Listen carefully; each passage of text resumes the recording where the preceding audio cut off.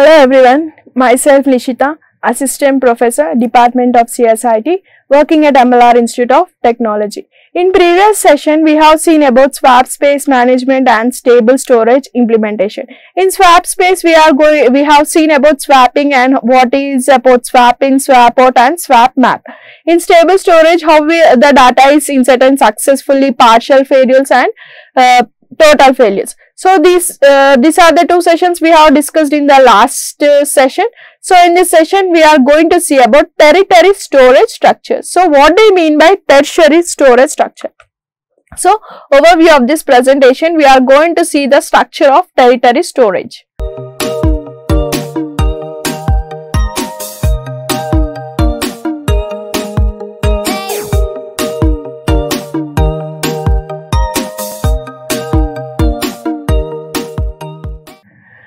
So the data that is not commonly accessed and typically not required for daily use is stored in tertiary storage. So the data which you are not uh, using daily that may be considered as tertiary storage. So that keeps under tertiary storage. So the data which is not required daily. So suppose you are browsing your Gmail daily. Uh, when you want uh, any files to implement that folder will be as kept aside that folder you may use you may not use daily. Whenever in case the need of that files or folders you will be uh, browsing that. Or else it will be kept aside. That may be under tertiary storage. Tertiary storage is often slower and less expensive. So it is very slower and less expensive than primary. And secondary storage is frequently used for data achieving and long term storage. So the tertiary storage may be slower and it have very less expensive. And then primary and secondary storage are frequently used for the data achieving long time storage. So it consists some long time duration for storing the data that can be used for long time. Tertiary storage units are widely employed for off-site storage. So, these units which are the data units which are widely employed for, uh, for off-site storage. Tertiary storage units which are widely employed for off-site storage for the long-term retention of volumes of data that are rarely accessed. So, whatever you are accessing the data rarely, means the employees access their data rarely for uh, recovering the mails or uh, getting the server messages from clients or clients will be sending to server. So whatever the employees which they are using that are frequently used. Tape libraries, optical jukeboxes and cloud storage are a few examples for tertiary storage system. So some examples for this tertiary storage systems are that may be tape libraries and some optical jukeboxes and another cloud storages that may be under cloud. Data is kept on magnetic tapes. So, uh, the data which are which are kept on magnetic tapes which are affordable and long lasting. So, that can be affordable and it can be shared to one person to another person by uh, using the pen drives or mails and it can be long lasting but slower to access than other forms of storage. So, when you are accessing compare with other devices this tertiary storage may be slower and in tape libraries. So, it's maybe some slow in the tape libraries. In general, optical jukeboxes are faster than tape libraries. So in general, the optical jukeboxes are faster than the tape, tape libraries. Why? Because this may consist some more data to prevent or share, whereas compared to tape libraries are slower than this. But have a shorter lifespan since they store data on optical discs like CDs and DVDs. So it has some shorter span, shorter lifespan. So when you are using CDs uh, or DVDs, that may have some very lifespan will be very less. Why? Because until and unless you the use of that series that may be getting uh, errors or buffering due to some errors. So that may be the lifetime will be very short compared to optical jukeboxes. So these jukeboxes are maybe as CDs or DVDs So data storage on remote servers that are maintained by a third party. So that this data can be maintained by this third party and are accessible through online is referred as cloud storage. So the data uh, can be used to remote servers and that are maintained by a third party. So some third party is using this data and this can be kept under cloud storage. Because it is made for rarely accessed data. So it is very rarely used and doesn't need to be as quick as dependable as main and secondary storage. So it is rarely accessed data and does not require or need of any quick or any dependable by its main and secondary storage. Territory storage is typically less expensive. So territory storage is very typically less expensive and slower than primary and secondary storage. So comparing to primary and secondary storage, this is very slower than other. Data achieving and long-term retention. So this consists some achieving of data and it is very long time as well as the data backup and recovery. So whatever you are taking the retrieving from the data that will be kept under backup and are frequently done using this territory storage. So this territory storage keeps the data by keeping this data safe and you can recover that uh, recover the data or you can place it on the data backup when the power is lost. So territory storage are floppy disk, magneto-optic disk, optical disk and WORM. So these are the four different types of tertiary storages. What are they? Floppy disk, magneto-optic disk, optical disk and WORM. So what are the different features of this territory storage structure? There are several key features of territory storage that is low cost, large storage capacity, slow access, stronger for the long term.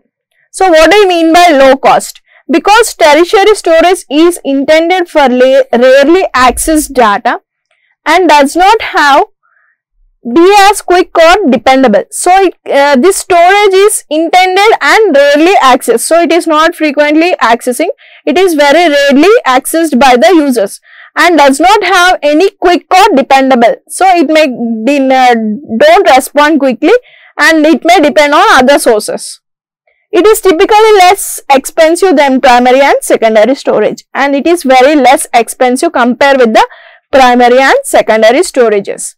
What I mean by large storage capacity? Territory storage devices are made to hold a lot of data.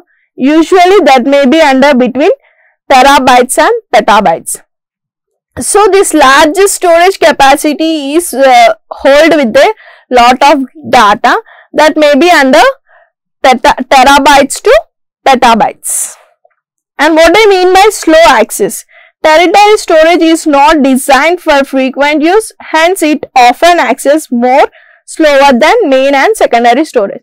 So, this uh, is not designed frequently for the use, hence it is often slower than the primary or main memory and secondary storage devices. So, it is very slow accessible. What do you mean by storage for the long time? Territory storage is frequently used to store data for the long time that is not used but must be kept for regulator or compliance reasons or for data archiving.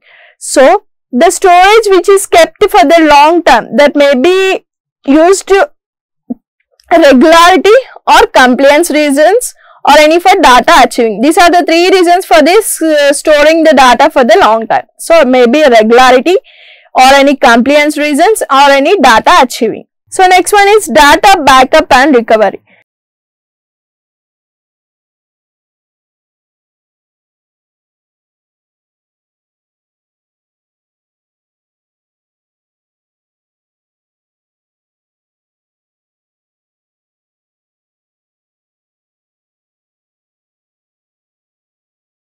Territory storage is frequently used for data backup and recovery because it offers an affordable and dependable way to store data that might be required in the event of data loss or corruption.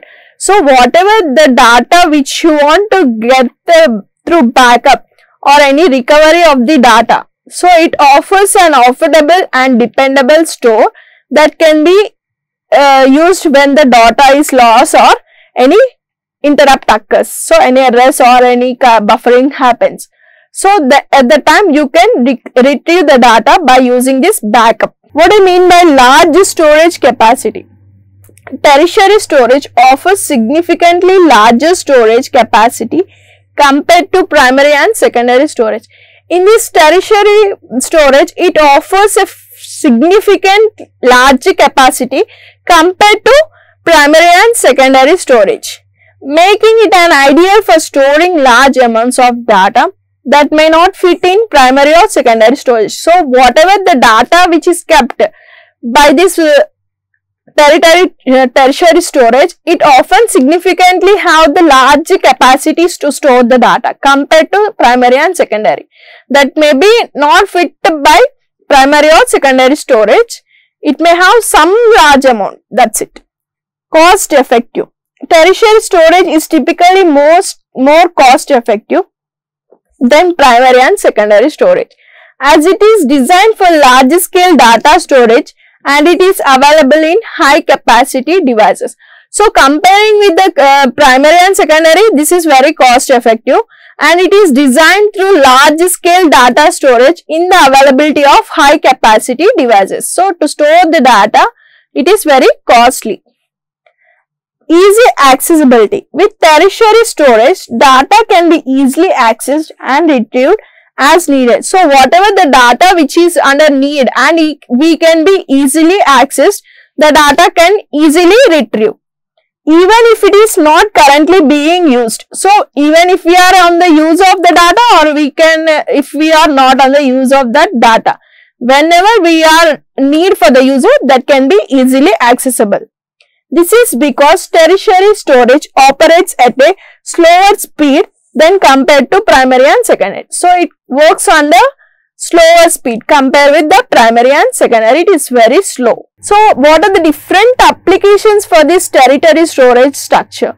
So, the applications are backup and recovery, archiving, digital pre preservation, big data analytics, cloud storage and data warehouse. So what do I mean by data backup and recovery?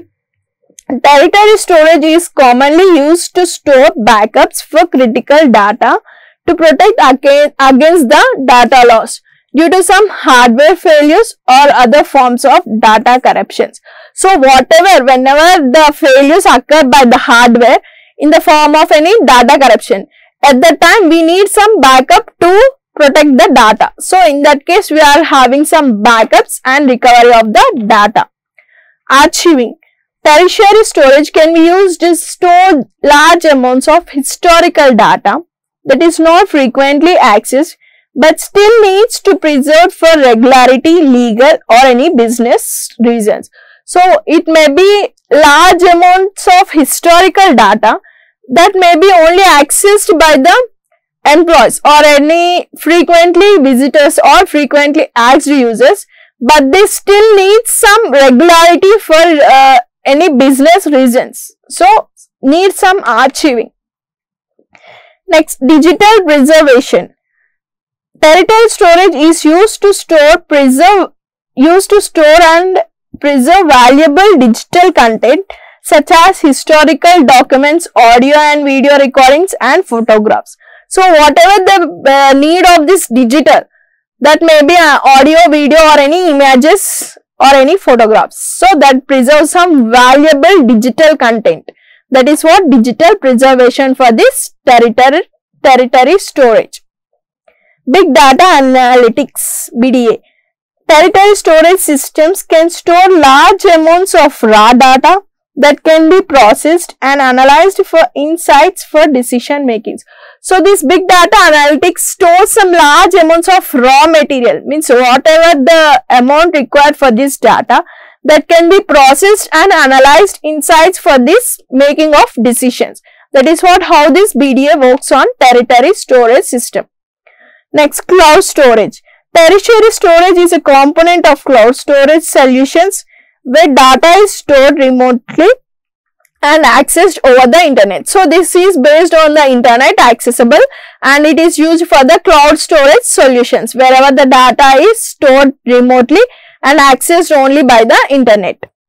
Next, data warehouses. Tertiary data, uh, tertiary storage is used to store large amounts of structured data for business, intelligence and data analysis. So, this warehouse is used to store some large amount of data for only business intelligence and data analysis. This is what data warehouse for the tertiary storage.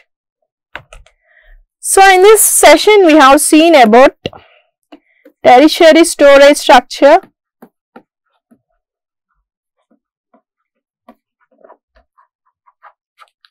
So, what are the key features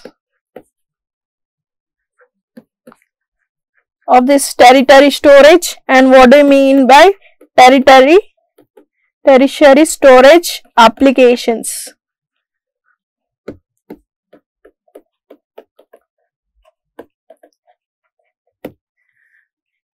If you have any doubts, you can comment in comment box. Thank you.